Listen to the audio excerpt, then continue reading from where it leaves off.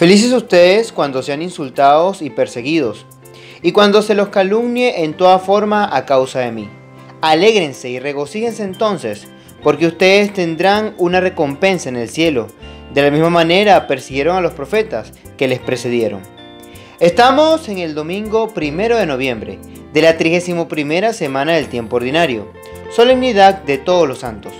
Esta celebración tuvo sus orígenes por el siglo IV debido a la gran cantidad de mártires en la iglesia. Más adelante, el 13 de mayo del año 610, el Papa Bonifacio IV dedica el Panteón Romano al culto cristiano, colocando de titulares a la bienaventurada Madre de Dios y a todos los mártires. Es así que se les empieza a festejar en esta fecha.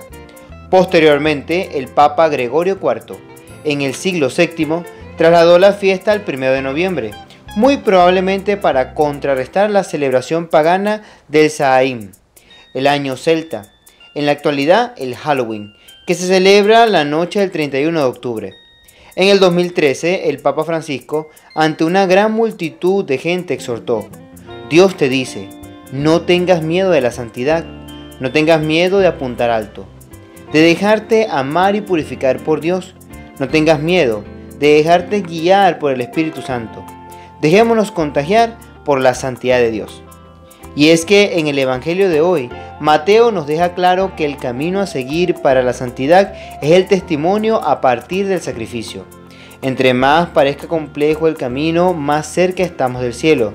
Así que no debemos temer a las dificultades de la vida. Somos felices si cumplimos la plenitud de la voluntad de Dios.